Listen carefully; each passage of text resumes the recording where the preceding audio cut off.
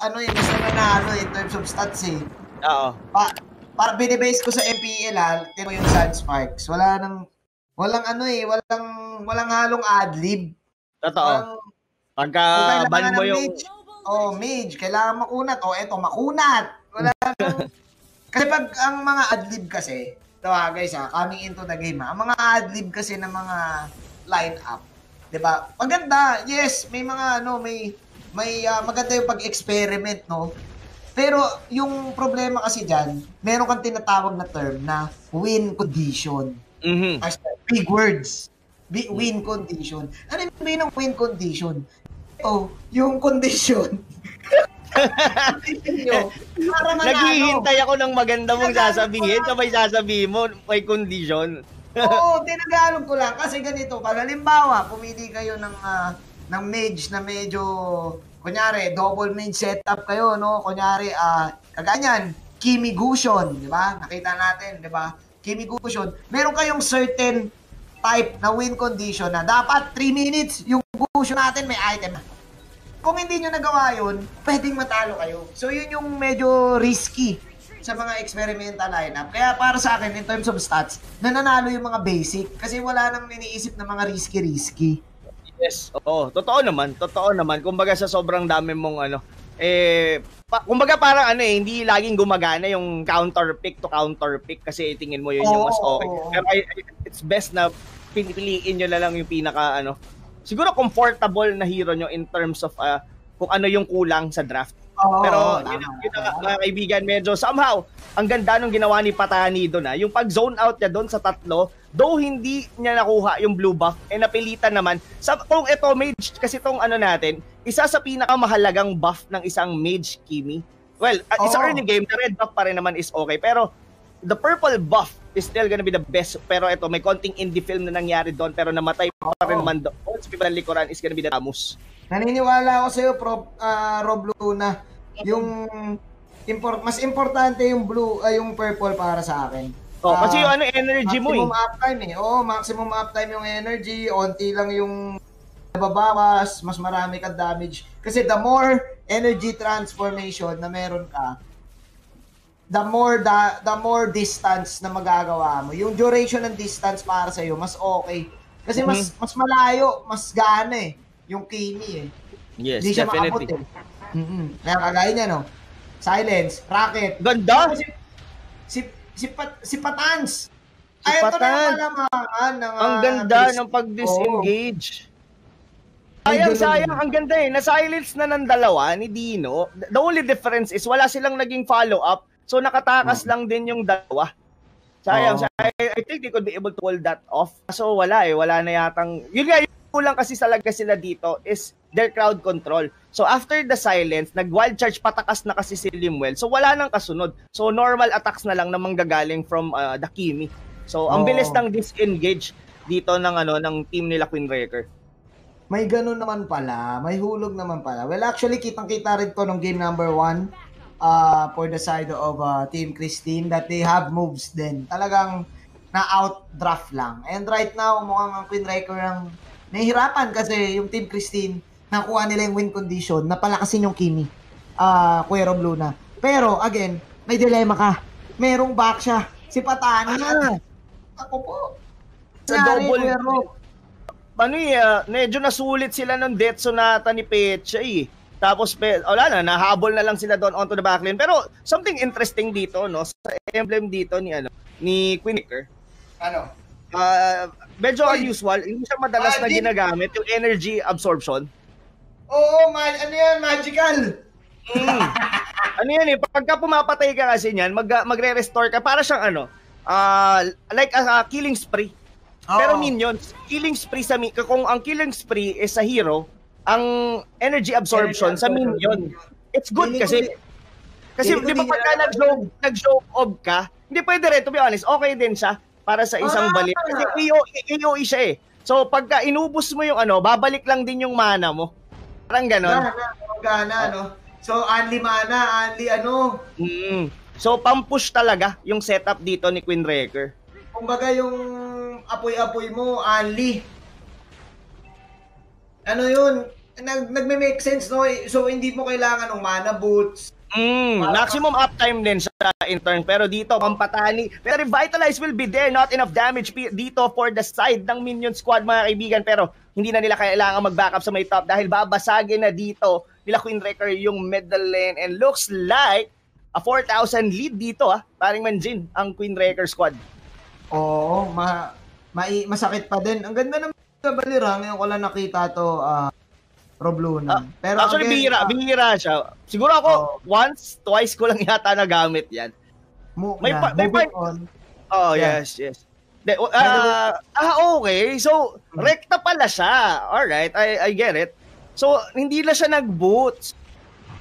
Hindi na, hindi nag-boots kasi po yung oh, rekta talaga. Pero, that's very interesting. Ah, okay, dahil because sa Esmeralda. Uh, copy. Ano yan, ah, uh, eh, sabi ni Queen Record dito, ako na mag adjust Mm. Ano na, napaka, napaka-interesting nung ganong banat ha. Ah. You go directly sa isang ano, even not using a boot. Pero dito, Coterant Inferno will not be enough. Patay pa rin siya dito with the Hellcard. Pero patani, zoning out everyone dito sa side nila Christine. Pero sabi dito ng Hellcard, he'll gonna be going on. Pero sa may bandang likuran, masyado pa rin makunat. Patani, hanggang ngayon, hindi pa rin namamatay. Oh my hindi God. Namatay. Gamit Siya rin yung ano, di ba kanina? Yung Carmila? Oo, di rin namatay. Patani, no? Katigas? Napakatigas yung boots niya dito rin kasi ang daming naka-counter eh. Oh. Yung boots, yung Athena shield, yung armor, ang tigas ng patani. Oo, oh, oh. ayoko, ayoko na lang gulay na yan. ang hirap oh. pala niyang kainin. Sobrang tigas. Grabe. Kuya Grabe. Roblona. Ang hirap. Kasi ang mangyayari kasi dito, pwedeng gangster ni Patani yung buong bayan ng Chris ng lineup ng Christine. Oo. Pero, el- wala. Lalo pa ngayon, hindi pa masyadong farm. Yung, if ever man na farm dito yung Kimi, okay, kasi somehow, if ever meron na siyang glowing one to Holy Crystal, possibly, baka hindi oh. kayang i-hold ni Patani. Pero kasi hindi oh. naman ganun ka-snowball dito yung Kimi. And this is Akimi ma- matchup na hindi pa nakakapag-push even a single lane. At look at the damage from the Death Sonata. Pecha dito trying to go in sa may bandang likuran pero out na muna. Disengage. Good decision making dahil uh, ta- Torre after tower sila dito mga kaibigan. So medyo naiipit na ngayon ha ang buong team nila Christine dito sa laban na to. Tagalid na ang vapor nila dito, Kuya Roblo, na ikaw na Oo. nagsabi nito, yung back siya pick counter yung Esmeralda eh. Kasi ano eh, yung ulti, kahit may shield ka, at aalisan ka lang. But uh, let's see here, dahil may wild charge, si Kuya Limwell, pero pinagsisipa-sipa lang siya, at ayun na, dito mo na makikita na wala ng damage si Kuya Pax, Pax hit. Oo. Si bitin na, bitin na. Lalo, lalo pa, siyang ano, purple buff. Ang bilis na maubos ng energy niya dito. I, I was thinking kung ano na yung item niya dito. I don't think na meron na siya rito even a glowing one. Or if ever man, glowing one pa lang yung item niya dito on top of the Raptor Machete. Pero yun na nga, ladies and gentlemen, Tamus might actually fall pero hindi pa nga naman din. Pero look at the damage from the Rhapsody. Grok will fall Sakit. sa isang set lang ha. Almost full HP yung Grok doon. Pero natunaw siya ng ganon-ganon. Well, oh, eh, uh, understandable kasi naka-focusing mark din naman kasi talaga siya. So hindi siya ganon talaga katangki. One hit ko. One hit combination. Pag umabot na ganyan sa ganyang punto yung Granger, yan mag 1 on 2 eh. Oo, 2-5. 2-5 critical. Uh, ano ba, ano na to? Endless Battle and BOD na possibly siguro yung gamit niya dito. Yung, si, yung ano pa lang yun, yung last bullet. Hindi pa yun yung Rhapsody ah. eh. Ito na, Rhapsody. De, joke lang, joke lang. Ah, uh, na, anong ba, Babs daw muna, Babs daw muna, Kuya Manjin. Pero ito, sir. Grabe, ang Sa totoo be honest, walang pwede nang tumangki dito eh sa ano, Wala. sa, sa Granger. Kahit yung Grak baka inatut na kayang kaya niya nang tunaka. Isang Rhapsody. Almost Wala. kaya niyang patayin almost anyone on the side nila Christine Santamena. Sakit ni Pechay dito, Pechay at Patani, iba pinapakita ng Team Gulay. Makulay Oo. talaga buhay. Pero nakaisa dito ha, ang Team Christine, nice pick off na wala dito si uh, si Bataw. Pero ayun, napakasakit Kuya Eddie. Kalahati. Yung damage ng isang bala. Binitchin patay na si Bata o si Patani naman. Oo. Grabe. Ano bang, ano Dagulay family. Oh. Gulay family, vegetables. Kailangan na ng ano dito, ng Team Christine dito, ng onting taba. Ng onting, ng onting, ng onting laman. Oo. Kasi tindigan eh. Totoo. Vegan gaming ng ano eh, ang Queen Regan eh. Exactly, exactly. And somehow dito, ah, the build dito ni Limwell is the Oracle. So, um, make, make, make sense na yung mga critical damage dito sa kanya for the Grak. I think the best, nag-itemize siguro siya dito more on physical. Kasi the only Oh. magic damage from the side nila Queen Wrecker is si, ano, si Queen Wrecker uh, herself. Kaso nga lang, hindi naman damage talaga siya. More on utility. So, medyo mahihirapan sila dito na magkaroon ng frontliner. Lalo pa, yun yung isa sa pinakakailangan ng isang Kimi para maka-free hit. Oo nga eh. Nabitin, Kuya Rob Luna. Tama ka eh. Nag-agree ako na wala na wala silang tank build talaga eh. Kung parang kung isa kang support na focusing mark type, gusto nyo gumera ng gumera eh, no? Sa early Mm. stages. Kaso Totoo. umabot na sa ganitong punto, yung wala, nakakulong na ang Team Christine. And ang laki na ng kalamangan ng Team Queen Wrecker, na panel na si Pechay. Oh, eto nga, sinusolo niya na nga dito yung Lord eh, na zone out talaga. Ganun na siya, kalakas dito, ladies and gentlemen. And to be able to come back dito into this game, kailangan mag-overcommit ng one or two or win a clash. Pero dito, hold that thought dahil takas dito sa may bandang likuran, medyo disengage na muna. Pumasok si Dino, the Hellcard doon, pero nakatakas pa nga naman din. Now, the Lord Oh. will be approaching. Walang mga ultimate dito ang mga taga ah, ang minion squad. This gonna be a hard ah, defense para sa kanila, paring Manjin. Napakahirap nito. Di Naubos, alam. naubos nila yung Oo. mga ulti nila. Para, pero walang namatay. Pero walang namatay, Kuya, Kuya Mm. Rob Luna. And, uh, yeah, kaya pa naman siguro mang outplay kasi may burst pa rin ang par sa Esmeralda. Pero malayo pa lang kasi sinichepe na sila ng mga bahala eh. Na, na, ayan oh, wala, di sila makalapit. There you go, ultimate from the Esmeralda. The tower will fall down. Kimi, si Paxhead, tinatry ang best niya dito to, to put in 2-5. damage. Pero wala, Tino 2-5. 2-5. Dinadaan sa 2-5, men. Yes, Ayun Dev. na, nagpagabi. Yun! Oh, sinipa. Yes, Wala it's a very good target din, to be honest, by Dino. I mean, uh, well commended yung pagka-pick off niya doon. Pero dito, mamamatay si Esmeralda. Pero sa bandang likuran, Asha at still namatay na nga naman din. Pero I think it's still a win para sa side nila Queen Wrecker kasi almost naubos nila yung inhibitor turret dito nila Christine Santamena. Pero buti na lang na, na napitas ni Dino kasi parang dawang normal attack lang from the Granger. Basag na rin dapat yung baba. Kasi pinilit na rin na pasagin ni ano ni Petchay even though na alam niyang papasok na sa kanya. Awi, Chikudo, oo, men. Ah, Hindi ko na alam eh. paano ba, paano ba kaya mananalo no, sa ganitong sitwasyon? Ano din eh, medyo ano Hirap kasi eh. sila, medyo defensive sila yung side dito nila Christine Santamena kasi ah Limol Passive. dito, yung yung Grak nila dito, hindi rin talaga kayang ano mag-withstand yung mga damage na binabato nila Queen Wrecker. Siya So, lang eh, no? Siya lang, siya lang to be honest. Even uh, the Hmm. Esmeralda not uh, well farmed para ma-hold nila. Lalo na to si Petchay. Ito yung mga tipo ng mga Granger na pag nag-Rhapsody, kahit sino dito talagang masasaktan. Yan. Tingnan mo dito, pa. Mm. Sakit niyan. Sakit Almost niyan. one-fourth, isang normal One attack. fourth. Wala pang critical. Grabe, sana ganyan din ako mag-ranger. Pero ano eh, yeah, Dapat I- I- gulay din ng pangalan mo. Oo eh. Ako si ano, ako si. Mais. Si Mais. Oo, gulay din yun, di ba? Oo naman, oo naman. Gana Pero, naman. Eh, tama ka bro, eh, no? Si Limwell lang, si Limwell lang natatanging tagapag-depensa. Siya ang, ano, siya ang gagawa ng the ultimate sacrifice Mm. para makakuha sila ng damage. Kasi si Kimi, Kemo, si Esmeralda, naturally, secondary tank lang siya eh. Mas more on mage pa rin talaga ang ano eh, ang Esmeralda Ayun eh, na. no? Ayun na, nagpagabi. May nahuli. Sino nga ba sila? Wala sila napatay. Ayun si Pechay, nawala. For the first time in forever, kinain nila yung Pechay. Nawala na rin si Patani. Pechay at Patani, naubos na. Inubos dito ni Paxet at ni Kuya Limwell. No, Pero this ayun, is it. This is Yun it ang- mula kay, kay Paxet. Totoo. Sabi ni Paxet, gutom na ako. Ah, Medyo ano ha, ang ganda ng pagkakaano ni ni Baring Dino doon ha. Siya, well commended talaga. Kasi na, laging ano, ah, hinuhuli, ang hinahanap na lang dito talaga ng ah, nila Christine is yung ano si Petchay. So, the moment na lumabas dito, pinapasok siya kagad. Pansin mo eh, uh, uh, synchronize yung naging galaw nung uh, ni Limwell as well ni, ni Dino nung lumabas sa sa ano sa tor- tor- inhibitor turret malapit si Petchay. Pasok sila kagad.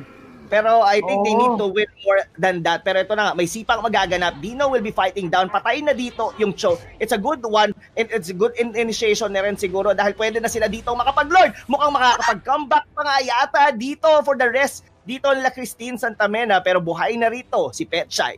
Lahat ng sinabi natin, Rob Luna, unti-unti nang napapamali.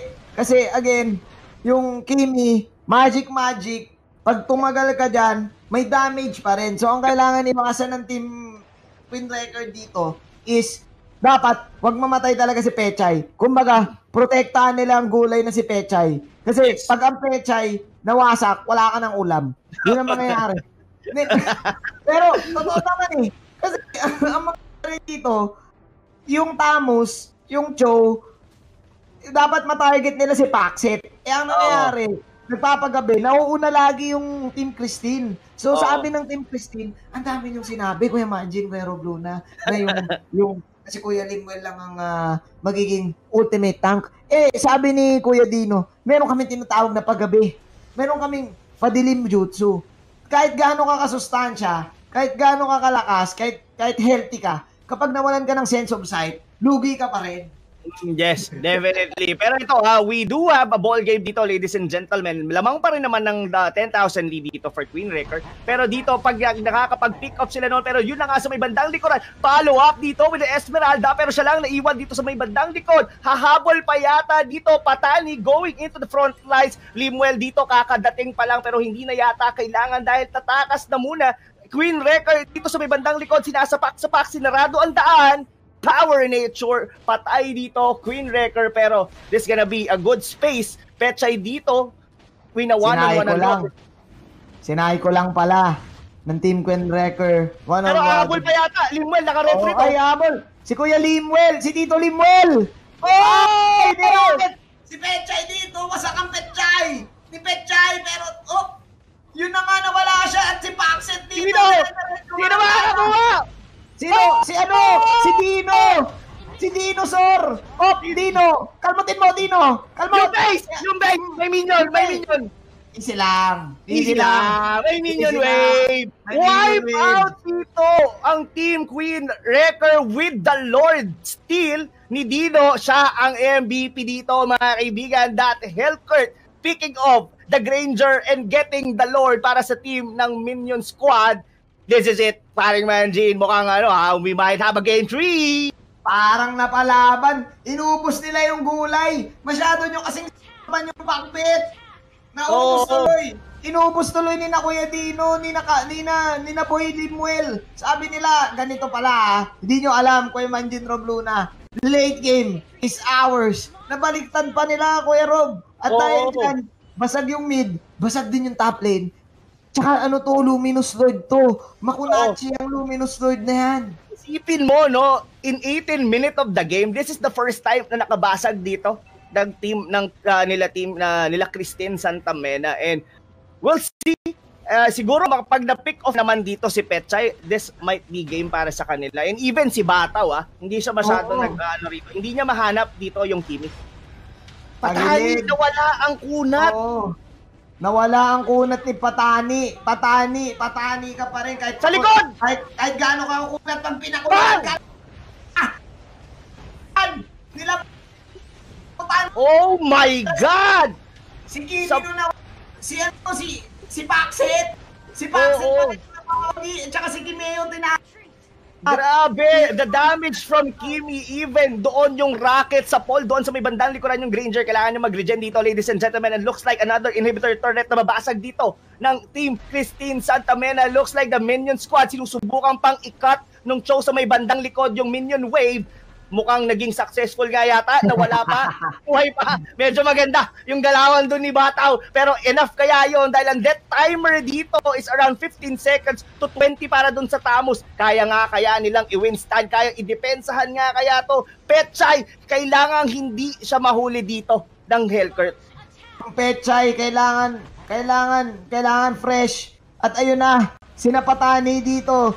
Dumidepensa pero kimi pa rin to. Tapos Ah! boxing, ang dami nyo sinabi. Pinasarap. Gusto pang manalo. Team Christine. Sabi nila, nagpainit lang kami, guys.